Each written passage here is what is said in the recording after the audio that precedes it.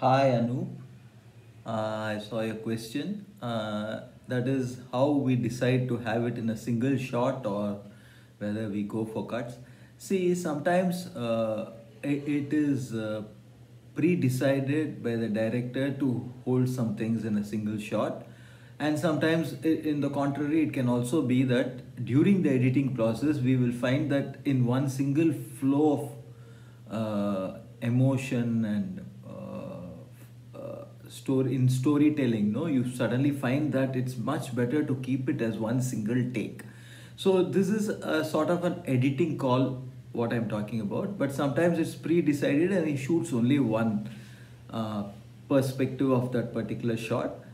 And uh, so we go ahead with it. Uh, sometimes some directors what they do is they shoot a single shot plus they also have an options for cuts. And then during the editing we decide whether we need as long as it holds the attention of the viewer i think uh, it's uh, very interesting to have a single shot you know. You you don't feel any uh, cut or any hindrance or anything no. If you're able to hold the emotion uh, some places it's very wonderful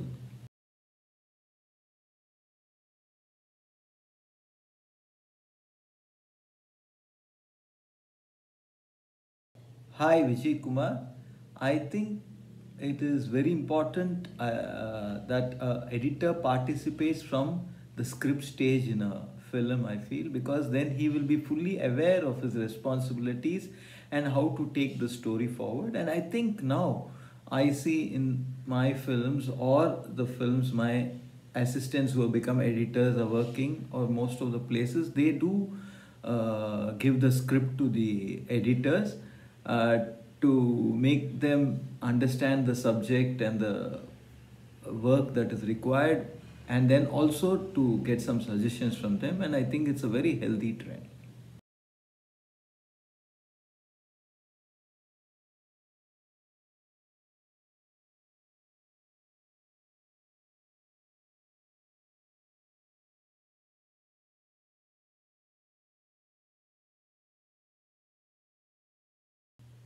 Hi, Srijana. I think what you have asked is a very relevant question because uh, so, so many times I've felt this too because we keep on editing the same thing again and again. So the only way uh, I could figure out a way was to create some breaks in between the work to get some objectivity back because if you I'm going to be working for 30 days at a continuous stretch on one particular thing then uh, and getting views from director and producer or myself all these together you start suddenly start believing that uh, everything is perfect. But if you can step back a little and uh, uh, wait for some time maybe a few days and then go back and revisit it it opens a new world of possibilities i think. And you also see that uh, the flaws that have that you have overlooked over a period of time. So, uh, for me, uh, when I'm lucky enough to have more than a project, then I go to another project and come back after uh, some time. And even when I finish uh, the edit and we say, yeah, we are pretty much satisfied, me and the director usually take a break of three, four days and then come back and off whatever few days and then revisit the edit again. It gives a sense of uh, getting back into the thing and finding out that yes you, it's see the thing is while you're working you can get carried away by the emotion of working and over a period of time. But when you get back again after some time i think it gives you a better objective view of uh, the whole thing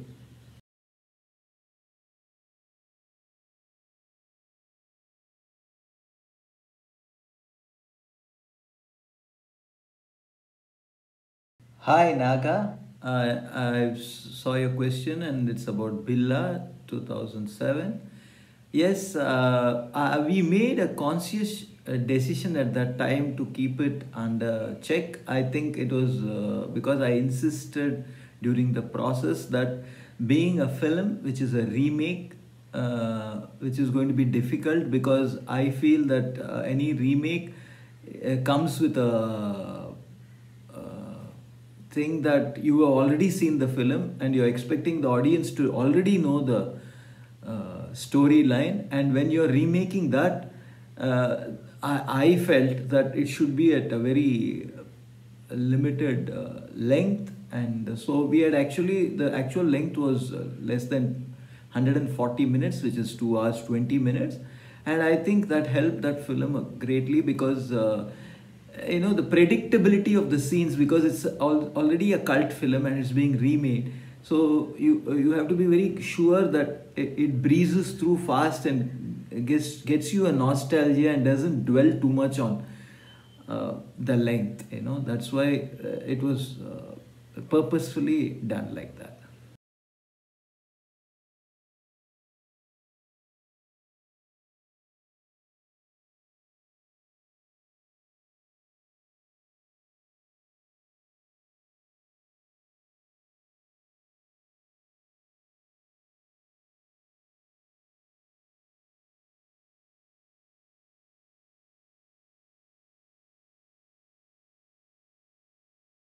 Hi, Apu Prabhakar. Uh, I clearly understand what you're trying to say is that uh, about a cinematographer and knowing the possibilities of how much of his shot would be used so that he doesn't waste his time shooting something which would probably not find the way, its way into the edit uh, and also shooting uh, prudently so that uh, the right shots will get into the edit. I, I totally uh, understand what you're saying, and I think it's very true. I also feel that uh, uh, lots of all the uh, popular and experienced cameramen uh, have a very good sense of what is going to come into the edit.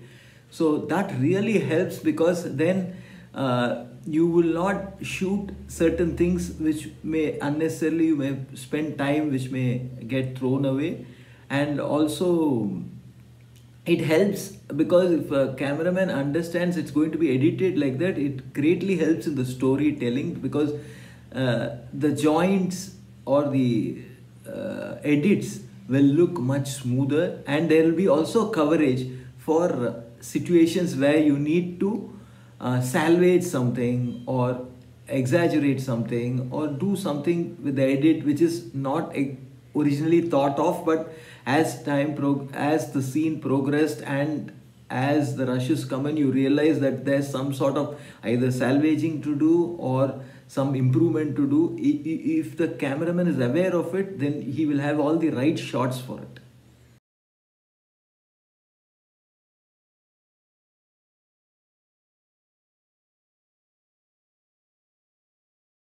Hi pratik.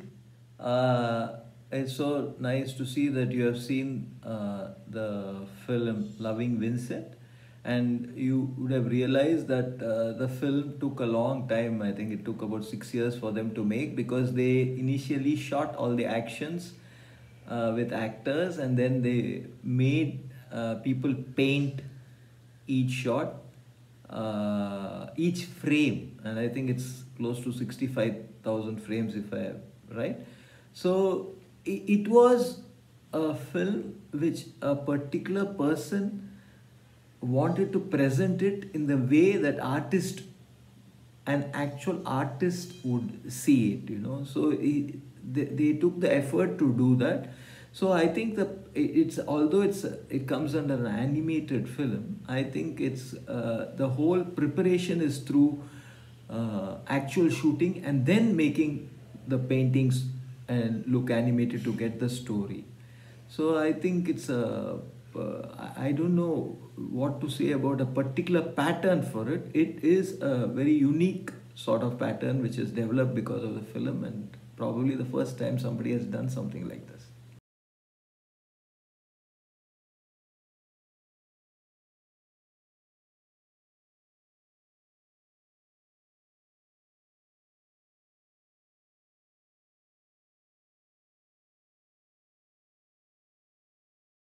Hi, Prahaladan. Uh, I think it's very important that a person reads and be aware of literature because it has a, quite a bit of a reflection on uh, cinema, I think. So I think it's very good if a person can read and be aware of what is happening and also uh, not only about technical things but about our history about our culture everything so that it makes the person grow in all ways all the different ways to actually put it in into the film as an experience. And uh, of course there is a difference between uh, editing for film festivals and theatrical release because film festivals is a very niche audience so uh, uh, you need to know what sort of films will be coming there. So you exactly know that the, uh, all the films which are very real and uh, which do not have much exaggeration and which they have a very niche audience you know. So how they look at films you have to be aware of to make sure that uh, uh, in a theatrical release the same incident i could exaggerate to get some mileage from the audience. Uh, but in a festival film i would not do the exaggeration. I would keep it within i will keep the melodrama and drama to a bare minimal. And uh, also don't uh, create so many gaps for background music and stuff like that. You, you allow them to uh, understand experience and also uh, uh, have the intelligence to understand situations and don't spoon feed. In theater we do a little more of the other way. That is we put a lot of uh, background music underline the emotions get the people ex- excited.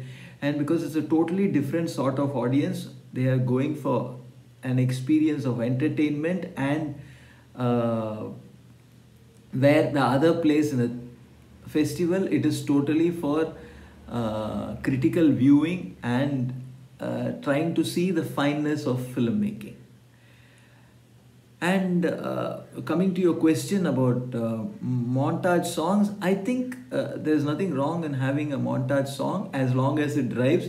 Personally, I don't believe that every film has to have X number of songs. Songs have been a part of our uh, filmmaking for, for a number of years. So it has become a sort of a thing which promotes our films. So songs have become very important for filmmakers but I think slowly people have changed from the regular dance routines to making it into a montage or trying to tell a story. So they're using song. A song has a certain high uh, which you get when you watch on the screen because it, it it's a little sort of an adrenaline pumping uh, music.